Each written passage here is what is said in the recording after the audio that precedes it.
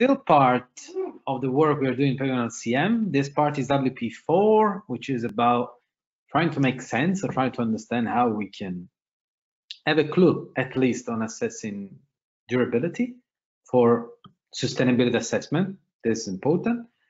So thanks, Bjorn, for being here. Bjorn Kalman is a research director at pavement technology at the Swedish National Road and Transport Research Institute. Maybe most of you know them as VTI, as I personally do. Um, and Bjorn, without further ado, I will give you the stage and ask people to keep asking questions on the chat. Thank you. Thank you. Uh, do you see my screen now? Yes, if you can go full screen, it will be better for, for the audience. Uh, do you see my presentation? Yes, we can see it. Just yes, exactly. Okay, thank you. Brilliant. Uh, good morning, or good morning, America, and good day to everyone else. Uh, uh, my name is Björn Kalman, working at VTI, as uh, Davide said. Um, as said in, in, previous presentations, uh, the durability is very crucial for, for the life cycle assessment. And uh, it has a direct impact on the um, imprint you do um, the environmental imprint uh, of your road. Uh, I think a natural starting point, let's see here.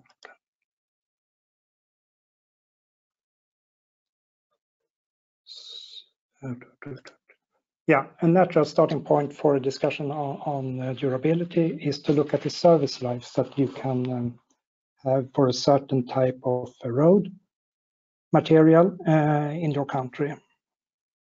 Uh, here I show you just a hypothetical um, graph of uh, distribution of service lives. Uh, and we can assume here that um, we have uh, selected roads uh, in the same uh, um, traffic class, meaning that they have a, about, about, the same number of um, vehicles per day. And that they have been built with the same um, code building code. Uh, sometimes it's uh, beneficial to, to model these kinds of distribu distributions, and uh, then I would like you to um, remind you that it's very important that uh, you also include the, the road sections that has survived the present day, because otherwise you will um, end up with a model that um, give you an unexpected uh, or a very short, uh, shorter um, service lives than uh, what is actually uh, experienced in the field. Uh, so there are statistical models that can handle this kind of censor data if you need to model this kind of um, distributions. Uh, some obvious observations here. Um, we have um, typical service life for the, the material. Uh, we have sections with very short service lives, and uh, perhaps we also have uh, sections uh, with longer service lives than others. I think we can learn a lot uh, uh, from all three of these um, um, all three parts here. The next thing you can do is to start to uh, question uh, questioning the the x-axis here. Um, you can see I have numbered uh, one, two, three, up to 17 years, and that's how we uh, usually collect the data from uh, the uh, pavement management systems and, and databases from the road authorities. But is it really age that we are looking at, or is it traffic? Can we put an equal sign between them? Uh, that's important to know, and uh, I think one should uh, look at this uh, for every case. Uh, if it's age that is important here, uh, so is it aging, and what is aging in this case? Does roads age as uh, we humans do and we finally end uh, our lives uh, regardless how much work we do? Or is it um, just the accumulated uh, number of work that the roads has uh, endured that determines the service life?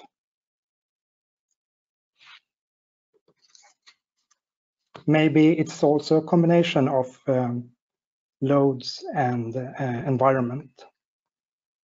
For example, if you have uh, water moisture on the road that could uh, influence the service life by water pumping through the, the pavements. The next questions uh, that you um, probably have is that uh, why did these uh, road sections come to the end of the service life? Why did the road authorities or the manager decide that it has to be overlaid or replaced?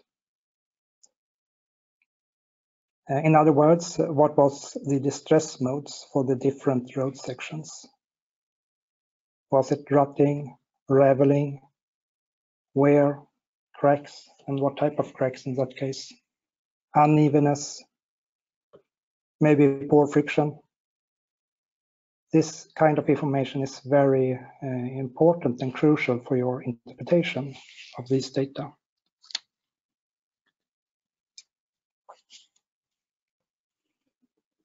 And what I have seen, it's very difficult to find this kind of data. You have to go to experts to ask them what is the typical um, distress modes that um, is causing the end of service lives for a particular type of uh, road material. I think it would be uh, most beneficial if uh, the um, the stress modes and and the reason why why we replace um, road sections with new material is um, recorded so that it can be interpreted in um, statistical analysis. Okay, distress mode is not everything. Uh, you also have to understand the mechanism um, for the distress. Uh, for example, if it's raveling, um, is it due to poor adhesion between the aggregate and the mastics, or is it um, fretting of the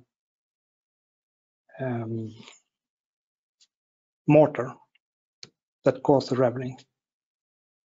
Could also be freeze-thaw cycles that is uh, uh, comes into play here. And this was a very long introduction to say, sorry, I have to move more because uh, of the light. Mm. This is a very long introduction to um, to say that you have to understand the problem that you would like to fix before you can fix it.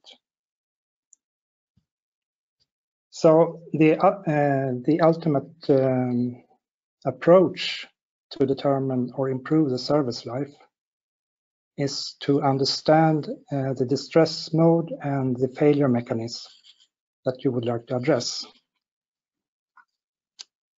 To summarize here, what I've been talking about is that durability is not uh, a material property. It's a combination of the material, the traffic, environmental factors like water, uh, freeze-thaw cycles, uh, ultraviolet uh, radiation, oxygen and aging, and could also be um, um, as, a, as a result of uh, poor bearing capacity uh, of the road. And the more you know about um,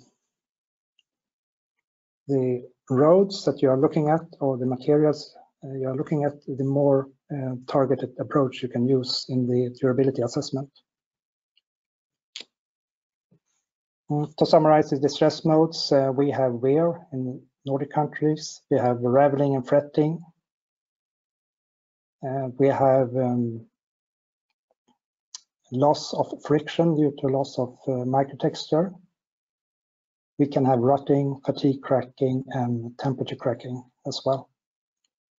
So the distress modes uh, could be different for the same type of material depending on which country you have, have these materials.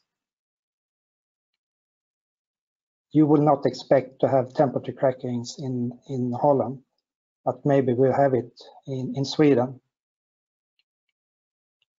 at least in some parts of, of Sweden. And the friction is uh, not very often a problem because we have a wear uh, of the surfaces in, in Sweden, but that is a big problem in parts of Europe. So now I will just mention a few of the uh, test methods that you can use uh, in the durability assessment. And uh, oddly, I will start with stiffness measurements because whatever type of distress and what type of material you are, are looking at, you would like to keep track of the stiffness modulus because um, the surface course uh, adds to the bearing capacity of the road and, and uh, it protects the other layers beneath it. It could also give you some indication if um, you will have some um, problems at the low temperature range or in, in the high temperature range.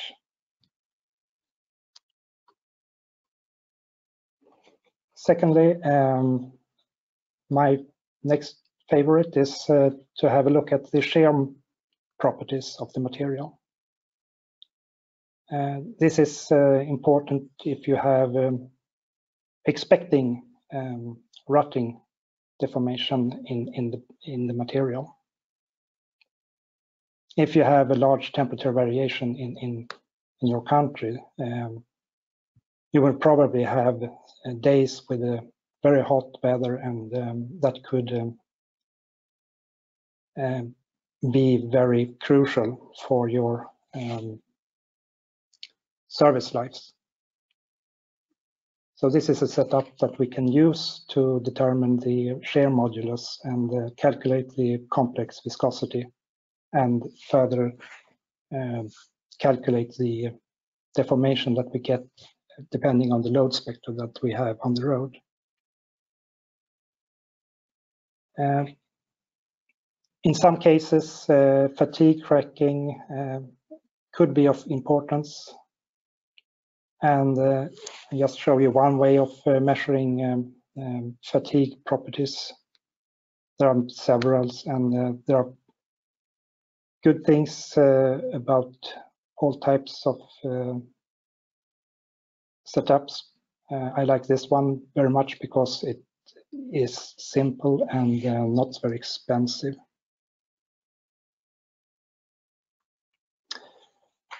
In many cases, you have um, problems with um, the durability because of um, water. Uh, and a favorite of mine here is to use the um, MIST equipment to simulate the dynamic pore pressure increase that you have uh, when traffic um, passes over uh, moist um, pavements. There are several um, uh, test methods to, to look at moisture sensitivity, but uh, this one is particular um, interesting because it's uh, related to both traffic and and, um, and moisture content. Uh, I don't have a, a, slide on aging. Um, aging is, uh, of course, very important. Uh, uh, oxidation of the binder um, could uh, have a dramatic influence on the materials. And um, you can uh, simulate aging by by um,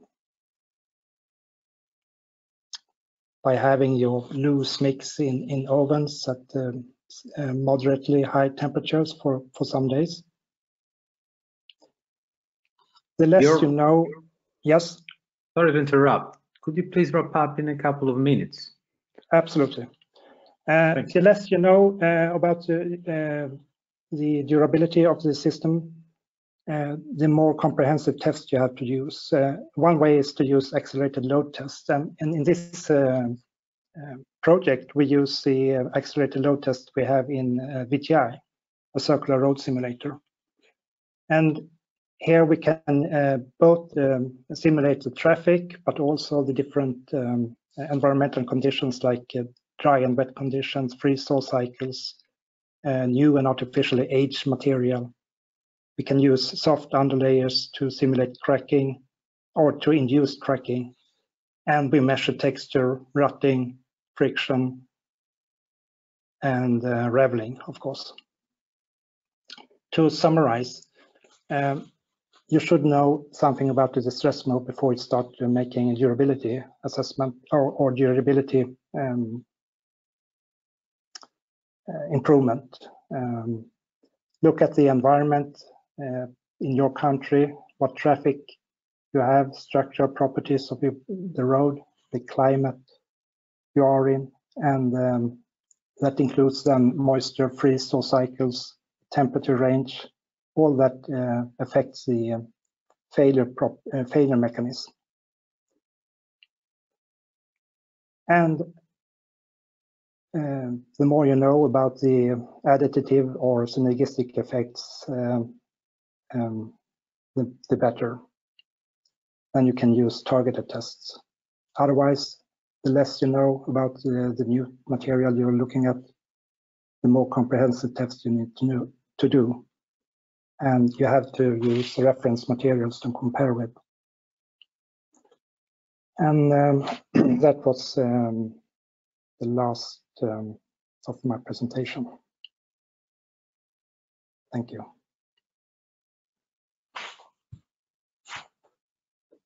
Thank you very much, Bjorn. So this is what uh, we're keep on developing Pavement LCM. I have to say that this is a, uh, the work package who are, uh, you know, we are working on it in this moment, so many results will come at later stage. Uh, but Bjorn introduced well what we are going to do. So Bjorn, we have a question for you.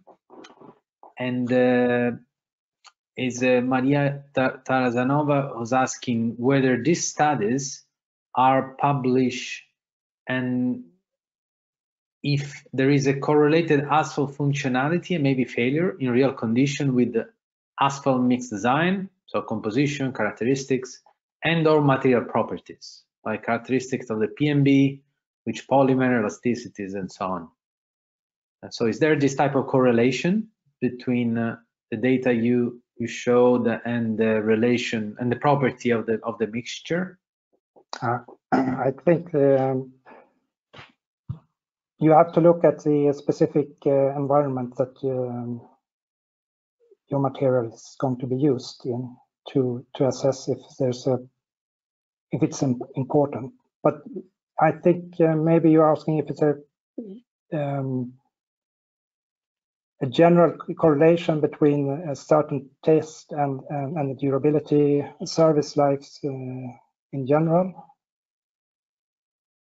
Uh, I'm not really sure about um, the question. What we can do, Bjorn, is that uh, I'm gonna send you the question, and Yes. uh, you can also you. a chat with the with the person. Also, this will allow us to go a little bit of on coffee break. So we Mhm. run So I a will little bit. propose to do that because we are a, li- a bit late, and I will propose to have a coffee break, maybe 10 minutes. Exactly, exactly. We come back at 40, Brescia. Is that okay? 40 past Okay. 3 European time. We put a message on the screen. Thanks, Bjorn. Thank Enjoy you, your Bjorn. break.